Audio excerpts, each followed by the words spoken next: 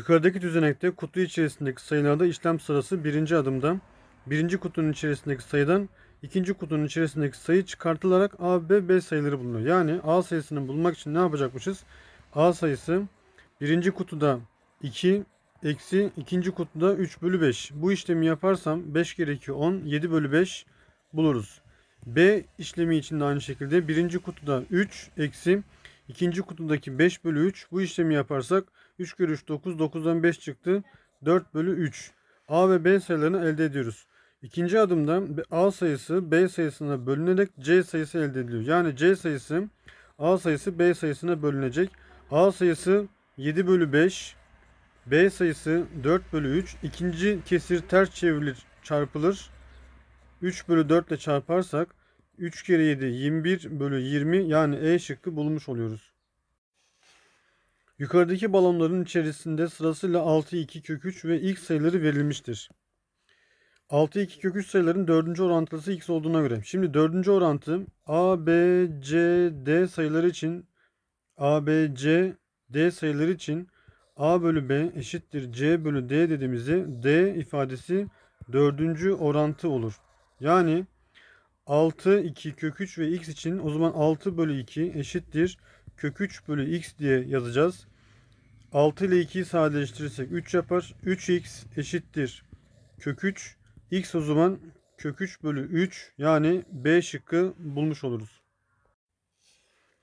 Yukarıdaki tabloda ABC sayılarının ondalık gösterimleri altında kutuda gösterilmiştir. Buna göre C bölü A artı B değeri kaçtır? Hemen C'nin değerini yazıyoruz. 0,5 bölü A'nın değerini yazıyoruz. 0,2 artı B'nin değerini yazıyoruz. 0,025. Şimdi buradaki ondalıklı ifadelerden virgülden kurtulmak için her iki tarafı pay ve paydayı 1000 ile çarparsak 10, 100, 1000 ile çarparsak 0,5'i 1000 ile çarptığımız zaman 10 ile çarptığımız zaman 5 yapar. 100 ile çarptığımız zaman 50 yapar. 1000 ile çarptığımız zaman 500 yapar. Aynı şekilde 1000 ile çarparsak paydayı 0,2'yi 1000 ile çarparsam 200 yapar. 0,025'i 1000 ile çarparsam 25 yapar. Bu durumda 500 bölü 225 sayısını elde etmiş oluruz. Burada sadeleştirme yapar, yapar, yapacak olursak 5 ile sadeleştirdiğimiz zaman 100 yapar. 5 ile sadeleştirdiğimiz zaman 5 kere 4 20 45 yapar. Tekrar 5 ile sadeleştirdiğimiz zaman 20 yapar. 5 ile sadeleştirdiğimiz zaman 9 yapar. 20 bölü 9 cevabımız 20 bölü 9 yani A şıkkı elde edilir.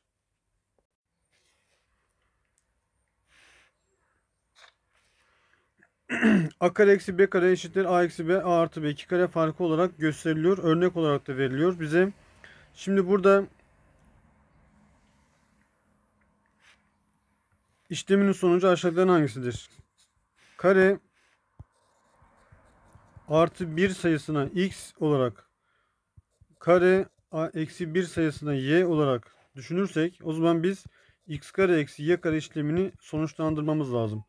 2 kare farkının açılımını yaparsak x eksi y x artı y olarak yazdığımız zaman bu iki ifadeyi çıkarttığımız zaman kareler birbirlerini götürecek 2 2 kalacak.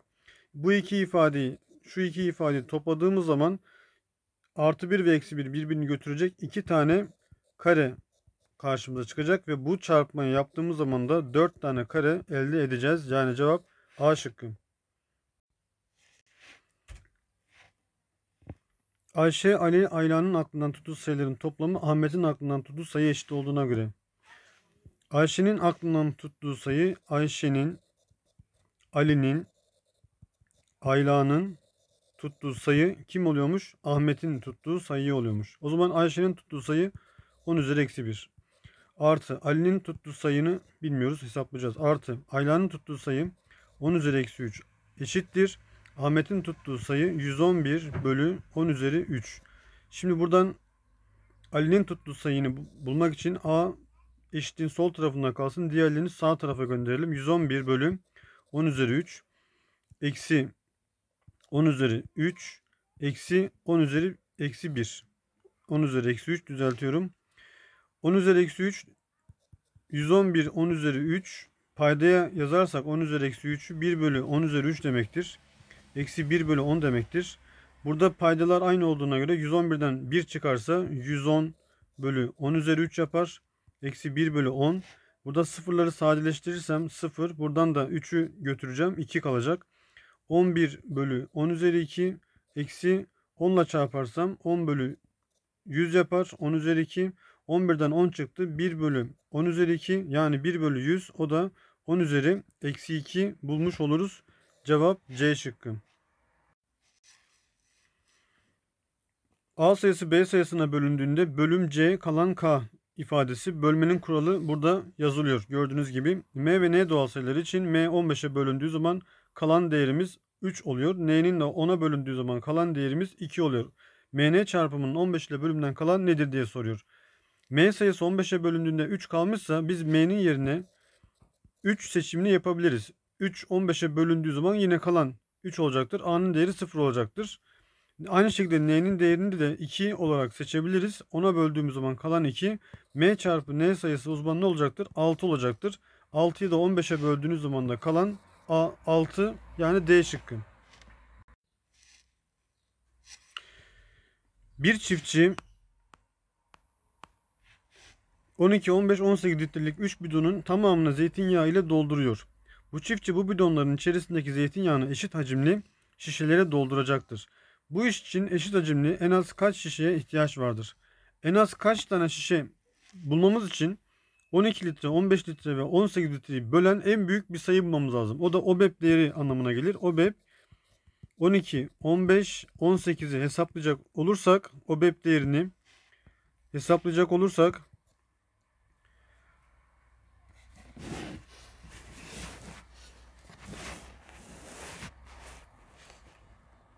Bu sayıları bölen en büyük sayı 3 olarak buluruz. Demek ki şişenin miktarı 3 litrelik olacaktır. O halde 12 litrelik bidon 3 litrelik şişelere doldurmak için 12 bölü 3 4 tane lazım. 15 litrelik zeytinyağının dolması için 15 bölü 3 5 tane lazım. 18 litrenin dolması için de 18 bölü 3 6 tane lazım. O zaman 4 tane burada var. 6 tane burada var. 10. 5 tane de burada var. 15 tane şişeye ihtiyacımız var. Cevap Bursa. Yukarıdaki grafikte fx ve gx fonksiyonları x eşittir a apsisi noktasında teğettir. Yani buradan şunu anlıyoruz. g fonksiyonunun a değerindeki karşılıkla eğriye teğet olduğuna göre fx x kare eğrisine teğet olduğuna göre FA'nın değeri aynı oluyordur. XA için FA'nın aldığı değerle GA'nın aldığı değer birbirlerine eşit oluyor. Bu nokta A, GA noktası olduğuna göre aynı zamanda A, FA noktasıdır. Buradan anlaşılan FA değeri eşittir GA değeri. O zaman FA'nın Fx x kare fonksiyonu olduğundan dolayı a karedir. Eşittir GA'da 2a eksi 1 gx fonksiyonu 2x eksi 1 x'in yerine a yazdığımız zaman a kare eksi 2a artı 1 eşittir 0. Buradan a eksi 1'in karesi tam kare olarak yazarsak a'nın değerinin 1 olduğunu bulmuş oluyoruz. Cevap Denizli. Yukarıdaki doğrusal grafikte pasta içerisindeki un ve şeker miktarları göstermektedir. Grafiği inceleyecek olursak burada şeker miktarı 1 iken un miktarı 2 olmuş. 2 katı. Şeker miktarı 2 iken un miktarı 4 olmuş. 2 katı. Şeker miktarı 3 iken un miktarı 6 olmuş. 2 katı. O zaman şeker miktarı ne olursa olsun K gibi bir değer olursa olsun un miktarı her zaman 2 katı olacaktır. 2K. Sorunun ifadesinde un ve şeker toplamının 33 kilogram olduğunu söylüyor. O zaman bunları topladığımız zaman 3K'nın 33 kilogram olduğunu, K'nın 11 kilogram olduğunu bulmuş oluyoruz. Kıvamlı bir pastada kaç kilogram şeker vardır? Şeker miktarımızda K dediğimize göre K'nın değeri 11. Cevap Denizli. Aşağıdaki dairesel grafik bir çiftçinin yıllık ürettiği ürünlerin daire grafiğini vermektedir. Çiftçinin yıllık yetiştirdiği soğan miktarı patates miktarından 25 ton fazla. Şimdi soğan miktarına bakıyoruz 150 derece. 150 derecelik açıya karşılık geliyor. Patates miktarına bakıyoruz 100 derecelik açıya karşılık geliyor. O zaman 150 derecelik açı 100 derecelik açı 25 ton fazla olduğuna göre demek ki 50 derecelik açının karşılığı 25 ton oluyor. Açının fazla olan kısmı 25 tona karşılık geliyor. Bu çiftçi yıllık kaç ton salatalık yetiştirmiştir? Salatın da merkez açısı 50 derece olduğu için 50 derecelik açının karşılığı 25 ton. Cevap C şıkkı. x küçüktür 0 ise mutlak değer x eksi x olarak tanımlanıyor.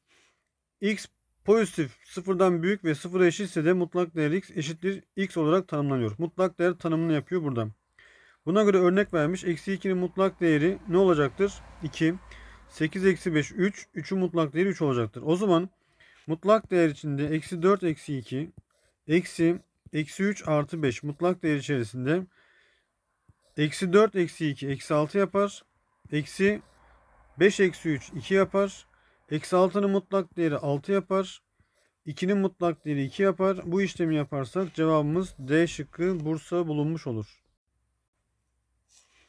İrrasyonel sayı karekök dışına tam çıkmayan veya virgülden sonra düzensiz devam eden sayılara denir. Tanım vermiş. Buna göre kökün içinde tam çıkmamasına bakacağız. Kaç tanesi irrasyonel sayı olarak söylemiş bize. Hemen birinci sayımıza bakıyoruz. Küp kök içinde 216. 216'yı 6'nın küpü olarak yazabiliriz. O zaman küp kök 6'nın küpü dereceleri birbirini sadeleştirici için bu sayı 6'dır. Rasyonel bir sayıdır bu. Dördüncü dereceden 3'ü kök dışına çıkartamıyoruz. 3 dördüncü kuvvet olarak yazılamadığı için irrasyonel sayıdır. Kök 2 bölü 2 kök 2 irrasyonel bir sayıdır. 2'ye böldüğümüz zaman da irrasyonel bir sayıdır. İkinci sayımız kök 2 bölü 2. Üçüncü, üçüncü sayımız kök 2 bölü 2.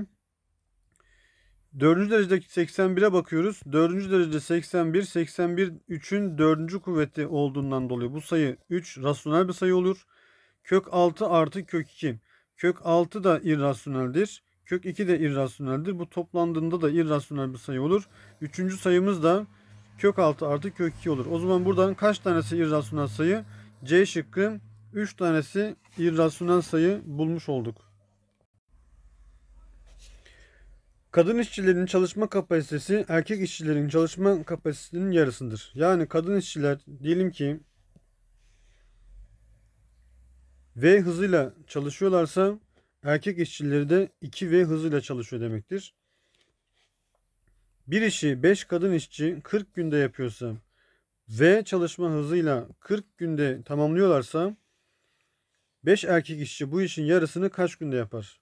Önce bu işi kaç günde bitirdiklerini bulalım. Ondan sonra yarısına bakarız. Şimdi V hızıyla burada ters orantı var. V hızıyla 40 günde yapılan bir iş 2V hızıyla daha fazla çalışıldığı zaman ne olacaktır? Daha az sürede olacaktır. Dolayısıyla burada ters orantı var. Ters orantı olduğu için ters orantı olduğundan dolayı V çarpı 40 eşittir soru işareti çarpı 2V. V'ler gider. Soru işareti 20 olur. Yani erkekler bu işin tamamını 20 günde yapıyorlar. Tamamını 20 günde yapıyorlar. E peki 5 erkek işçi bu işin yarısını dediği için tamamını 20 günde yapıyorsa yarısını 10 günde yapacaktır. Cevap B şıkkı. Lokantada yemek yiyen 3 arkadaş cebinde sırasıyla 80, 60, 40 lira vardır. O zaman 80, 60, 40 lira.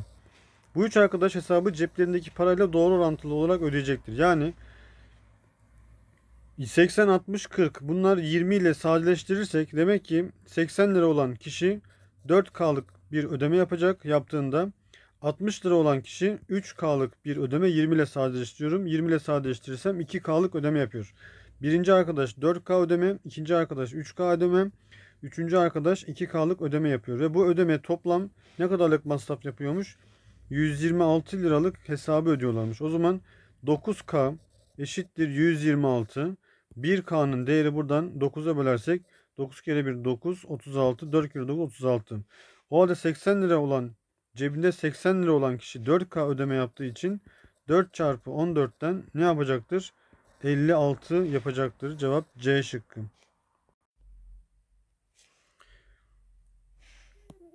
ABC, BBD, CAD, CDB sayılarına karşılık gelen 3 basamaklı sayılar sırasıyla aşağıdaki gibidir. Görüldüğü gibi B ve B iki basamak aynı gelmiş. Burada aynı gelen 6, 6, 4. Demek ki B'nin değeri B'nin değeri 4 oluyor. D'nin değeri D'nin değeri düzeltiyorum. B'nin değeri 6 oluyor.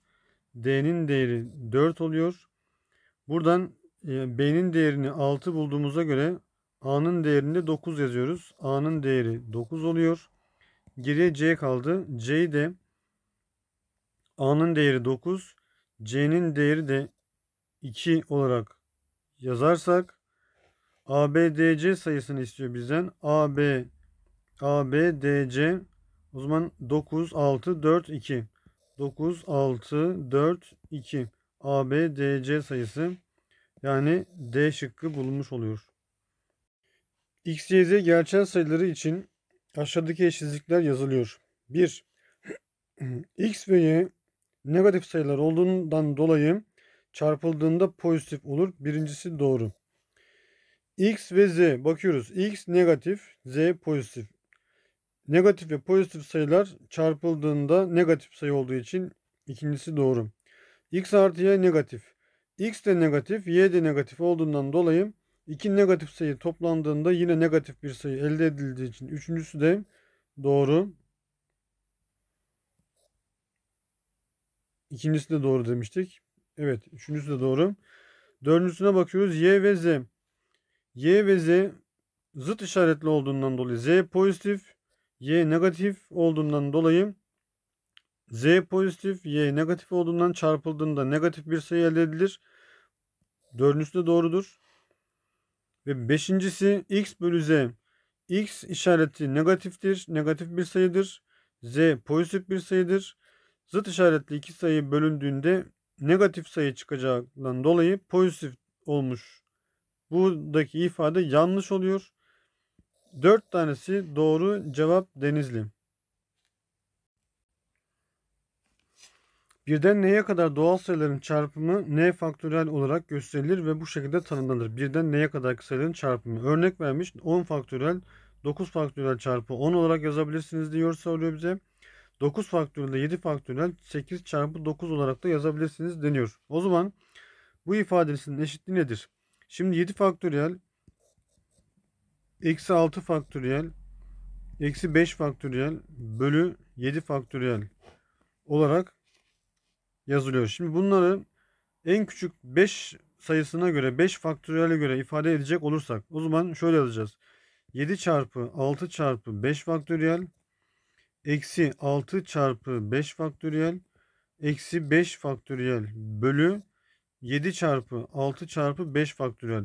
Hepsini 5 faktöriyel göre yazdık. Şimdi 5 faktöriyel de çekersek paranteze 5 faktöriyel 7 çarpı 6 42 eksi 5 faktöriyel aldık 6 eksi 1 bölü 5 faktöriyel aldık 7 çarpı 6 42. 5 faktöriyeller sadeleşiyor. 42'den 6 çıktığı zaman 36 1 çıktığı zaman 35 35 bölü 42 7 ile sadeleştirdiğimiz zaman 5 7 ile sadeleştirdiğimiz zaman 6 cevabımız 5 bölü 6 A şıkkı olmuş oluyor. Dairesel pistte bir dairesel pistte aynı anda zıt yönde aynı noktadan iki hareketli harekete başlıyorlar. Birinci hareketlinin hızı V1, ikinci hareketlinin hızı V2. V1 ile V2 arasında şöyle bir eşitlik var. V2 hızını V olarak yazarsak V1 hızı 2V olarak yazıyoruz. Yani V1 hızı V2'den daha hızlı gidiyor. 2 kat hızlı gidiyor. O zaman V1 hareketlisi bir tur yaptığı zaman bir tur yaptığı zaman V hareketlisi ne yapacaktır? 2 kat hızlı olduğu için bu bir tur yaptığı zaman V1 V2 olan yarım tur yapacaktır. Tam yarısına gelecektir. Tam yarısına gelecektir. O zaman 2 tur yaptığı zaman hızlı olan 2 tur yaptığı zaman yavaş olan da bu sefer ne yapacaktır? Turu tamamlayacaktır. Demek ki 2 tur attığında V1 hareketlisi 2 tur attığı zaman V2 hareketlisi ne yapıyor? 1 tur atıyor.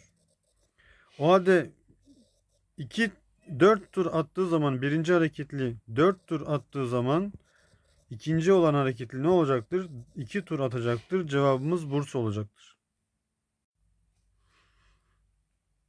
Bir tanzim satış kuyruğunda bulunan Ahmet Bey kuyrukta baştan 101. sondan 39. sırada. Yani burası baş olduğunu düşünürsek Buradan itibaren saydığımız zaman 101. baştan itibaren 101. şahıs Ahmet Bey son taraftan sondan itibaren saydığımızda da 39. oluyor. Demek ki burada 38 kişi daha var. 39. oluyorsa 39. kişi bu oluyorsa demek ki bunun 38 tane daha var.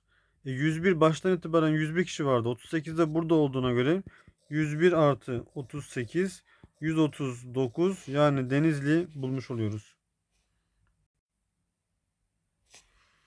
A ve B kümeleri için A eşittir B eşittir C eşitliği sağlanıyormuş. Yani burası A, B de A, C de A. A bileşim B 42 olduğuna göre A bileşim B ne olmuş o zaman? Her bir A olduğuna göre 3A eşittir 42. A'nın değeri 14 olur. A eksi B dediğimiz yer A eksi B dediğimiz bu taralı bölge A. B eksi A dediğimiz yerde bu taralı bölge yine A. E, A'nın değeri 14 olduğuna göre 2A değeri 28. Bir mağazadaki ürüne maliyet üzerinden %10 karla satış yapılırken satış fiyatı üzerinden %10 indirim uygulanıyor. Bu ürünün satışıyla ilgili aşağıdakilerden hangisi doğrudur? Şimdi maliyet fiyatı diyelim ki 100 lira olsun. Ürünün maliyet fiyatı 100 lira olsun. Maliyet üzerinden %10 karla satış yapılıyorsa o zaman buradan ne olacaktır? %10 lira kazanıyorsa 110 liraya satacak demektir. Satış fiyatı üzerinden tekrar %10 indirim yapılıyorsa %10 indirdiğine göre %90'ı kalmış demektir. O zaman bunun %90'ını hesaplarsak sıfırlar gider. Ne olur? 99 olur. Demek ki son durumda 99'a indi. Demek ki 100 iken bir zarar %1 zararda. Cevap B. Px polinomu ikinci dereceden bir polinomdur. P eksi 1 ve P1 eşittir sıfırmış. Buradan anlıyoruz ki eksi 1 ve 1 polinomun sıfırlarıdır. Yani x eşittir eksi 1 yazdığımızda sıfır yapıyorsa demek ki Px polinomunda x artı 1 çarpanı olması gerekiyor. 1 yazdığımızda sıfır yapıyorsa Px polinomunda x eksi 1 çarpanı olması gerekiyor. Bir de baş sayısı da vardır bunun. P0 eksi 1 olduğuna göre x'in yerine 0 yazarsam P0 değeri eksi 1 yani 0 yazarsam 1 eksi 1 çarpı a o zaman a'nın değeri de ne olacaktır? 1 olacaktır. O zaman polinom bizim polinomumuz ne olacaktır? x artı 1 çarpı x eksi 1 olacaktır. P2 değeri nedir diye sormuş bize. P2 değeri 2 1 daha 3 çarpı 2'den 1 çıktı 1. Cevabımız C şıkkı olur. Yukarıdaki şekilde 1'den 9'a kadar rakamlar A'dan başlayarak soldan sağa doğru sırasıyla ok yönünde yazılıyor ve K'ya en son rakam yazıldığına göre K'ya en son rakam yazılıyorsa olsa olsa bu 9'dur. E buradan başlıyorsa bu ok yönünde 1, 2, 3, 4, 5, 6, 7, 8 şeklinde yazarız. Buna göre G, K, C toplamı G demiş G 7, K demiş 9, 16, C demiş 3, 19. Bu toplam ADE toplamından A dediğimiz 1, D dediğimiz 4, 5 yaptı. E dediğimizde 5 yaptı. 10 olur. Ne kadar fazlaymış? 9 fazladır. Burada cevap şıklarında 9 yok. Cevabın 9 olması gerekiyor. Üniversitede okuyan 5 arkadaşın yaşları yukarıda verilmiştir. Bu 5 arkadaş A yıl sonra 20 yaşında olan arkadaşının düğününde bir araya geliyorlar. 20 yaşındaki arkadaşının düğününde bir araya geliyorlar. A yıl sonra. O zaman 19 yaşında olan 19 artı A. 19 artı A. 20 yaşında olan 20 artı A. 21 artı A, 21 artı A yaşlarında olacaktır. Bu 5 arkadaşın A yıl sonraki yaş ortalaması 24 olduğuna göre 5 kişi olduğuna göre demek ki ortalama 24 ise toplamları 5 çarpı 24 ne yapar? 5 kere 4 20 120 yapar. 5 yıl sonra yaşları toplamı 120 olacak. Bu toplamı 120'ye eşitlersek 19, 19 da burada var 38, 20 de burada var 58, 58 21 daha 79 79 21 daha 79 100 yapar. 100 artı 1 2 3 4 5A eşittir 120. 5A eşittir 20. A eşittir 4. A kaçtır? Cevap C şıkkı. Yukarıda boyalı bölgelerin doğru yazılışı aşağıdakilerden hangisidir? Şimdi burası 4 parçaya ayrılmış ve 4 de alınmış. O zaman burası 4 bölü 4'tür. Burası 4 parça ayrılmış. 4 de alınmış. Yine 4 bölü 4'tür. Artı artı. Burada 4 parça ayrılmış. Bir tanesi alınmış. 1 bölü 4'tür. O zaman bu toplamayı yaparsak 2 tam burası 1 burası 1 2 tam 2 tam 1 bölü 4 olarak cevap E şıkkı bulunur. A kümesi için A'nın dörtlü permütasyonlarının sayısı dörtlü permütasyon dediğiniz zaman A kümesinden 4 tane eleman seçeceğiz ve onları sıralayacağız. Yani 5 tane eleman var. 5'in dörtlüsünü seçeceğiz ve bunları da sıralayacağız. Permütasyonların sayısı. Dolayısıyla bu 20'den farklı bir sonuç çıkar. 1 olmadı. İkincisine bakıyoruz. A kümesinin 3 elemanlı alt kümeleri sayısı.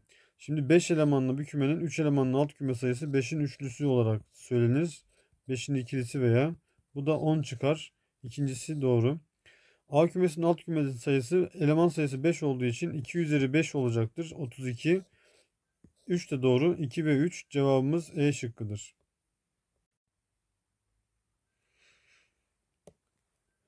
Yukarıda birinci kutuda 5 sarı 4 kırmızı 5 sarı 5 sarı 4 kırmızı. İkinci kutuda 3 sarı 3 sarı 6 kırmızı bilye vardır. Birinci kutudan bir bilye alınıp ikinci kutuya atılıyor. İkinci kutudan bilye alınıp bir, ikinci kutuya atılıyor. Burada bir ifade karmaşıklığı var gibi. Buna göre renk bakımından ilk durumu elde etme olasılığı kaçtır? İlk durumu elde etmesi, elde etmesi için birinci kutudan hangi rengi alıyorsam ikinci kutudan da onu geri atmam lazım ilk durumun elde edilmesi buradan hangi aldığım hangi aldığım bilgi hangisi ise buraya kutuya attıktan sonra aynı bilgiyi almam lazım ki eski haline dönüş yapsın. O zaman ya buradan kırmızı aldığımda ikinci kutudan da kırmızı alacağım ya da sarı aldığımda ikinci kutudan da sarı alacağım. Birinci kutudan kırmızı alırsam kırmızı atarsam ikinci kutuya kırmızı bakıyorum 4 bölü 9. İkinci kutudan kırmızı buraya verdiğim için kırmızı sayısı o zaman ne olacaktır? 7 tane kırmızı olacaktır. 7 bölü 10. Buradan işlemi yaparsam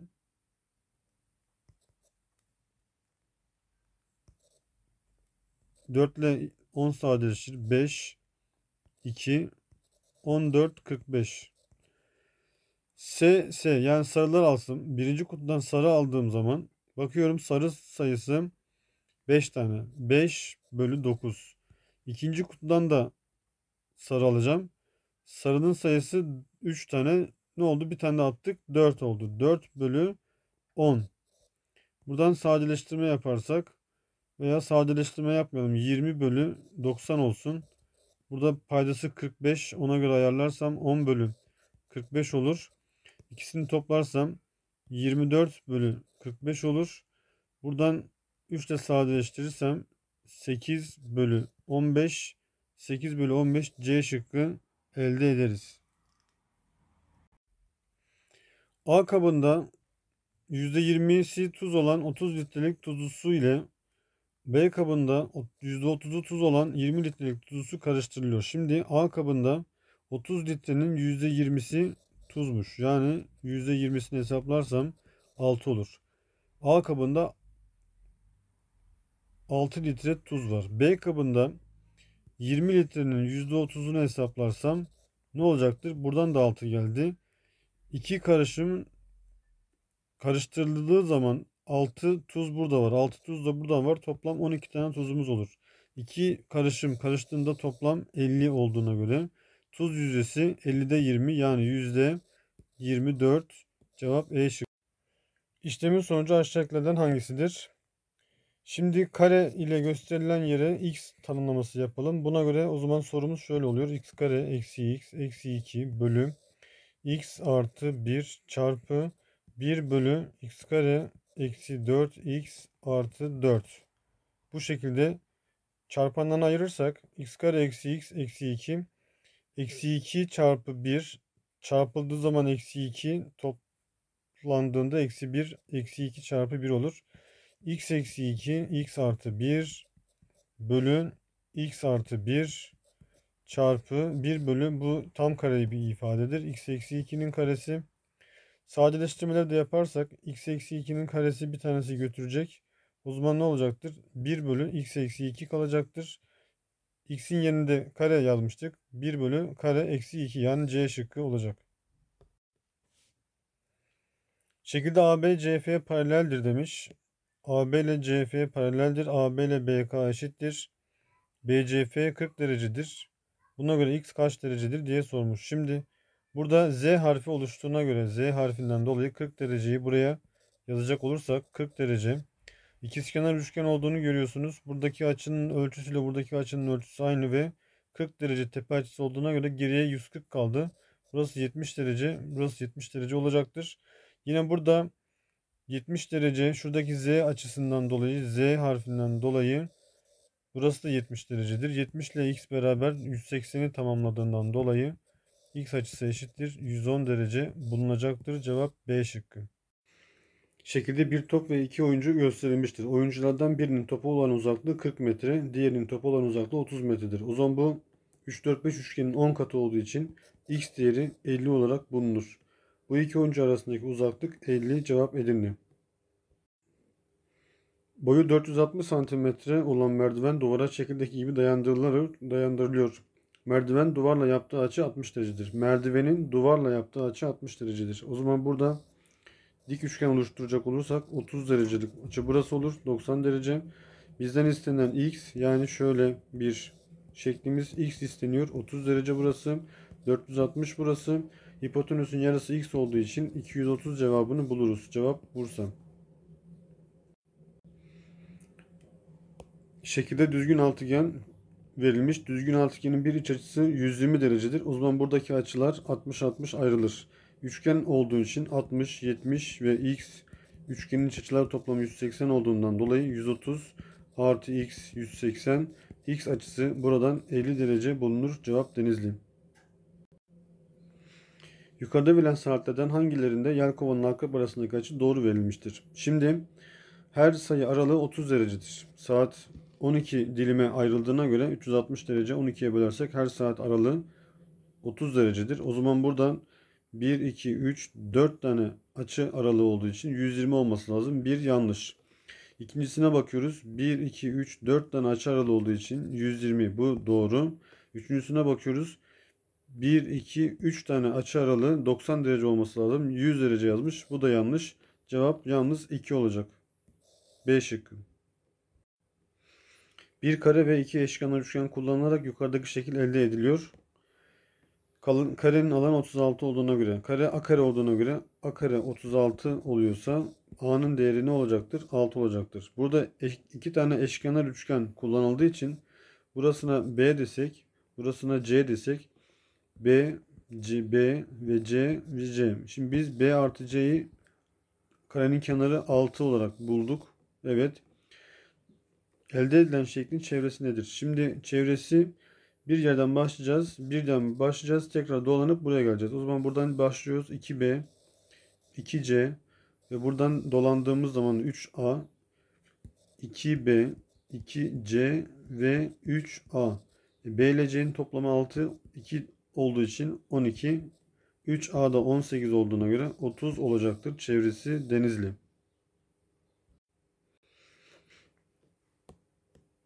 AD 6 birim vermiş bize. DC 19 vermiş. Bir dikdörtgen var. Katlama yapıldığı zaman AK boyunca katlandığı zaman 6 şuradaki 6 buraya katlandığından dolayı 6 olur. Bir kare meydana gelir. 6 6 yazarız. Aynı şekilde buradaki de katlama yapıldığı zaman burası da 6 olur. Burası da 6 olur. 6 olur. E, 19 olduğuna göre uzun kenar 6 artı 6 artı x eşittir 19. Buradan x değeri 7 olarak bulunur C şıkkı. Aralarındaki uzaklık 12 metre olan 11 metre 6 metre boyundaki direklerin uç noktalarına bağlı teleferik telin uzunluğu. Şu telin uzunluğunu istiyor benden. Şu 6 birimde şöyle taşıyacak olursak 6 birimi buraya kaldı 5 birim. Yani şöyle bir şeklimiz var. Şuradan 6 birimi taşıdık. 6 vermiş. Burası 6. Bunun tamamını 11 verdiğine göre buraya kaldı 5. Burası 12. Paralel taşıdığımıza göre burası da 12'dir. Dik üçgende Pisagor bağıntısı uygularsak 5, 12, 13 öz- özel üçgenidir. O zaman telin uzunluğu 13 cevap Edirne bulmuş oluyoruz. Dik koordinat düzleminde y eşittir x, y eşittir eksi x, y eşittir 12 doğrular arasında bölgenin alanı kaç birim karedir? Şimdi burada y eşittir 12 olduğuna göre burası bir kere 12'dir. y eşittir x doğrusu dediğine göre burası eğim açısı 45 derecedir. Eğimi 1, tanjant 1 yapan 45 derecedir. Burası da 45 derecedir. Yani ikizkenar dik üçgen meydana geliyor burada. O zaman burası 12 yazdığımıza göre burası da 12'dir. Aynı şekilde y eşittir eksi x'te de eğim açısı 135 derecedir. 45, 45, 90. 45 de buraya kalır. İkizkenar dik üçgen olur burası yine. 45, 12.